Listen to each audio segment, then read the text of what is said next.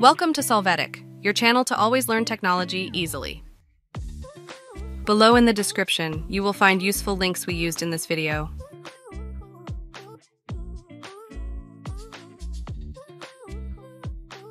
Today in Solvetic, we will see how to insert logo into Word document. To start, open your Word document. Here you are going to double-click on the header to open its editing options. After that, from the Insert menu, click on Pictures and select this device. You are going to select the desired image for your logo. Click on Insert to add it. After this, adjust the image as necessary.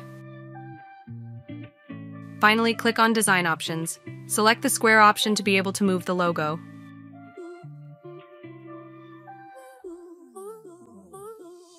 You are going to double click on the document to view the logo, and as you see, if you add new pages, the logo will be present.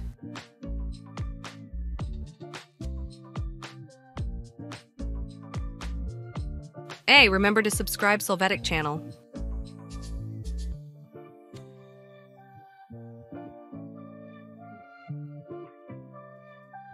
We hope it has been helpful for you. Here are links to watch more videos of your interest and subscribe to the Solvetic channel. Thank you.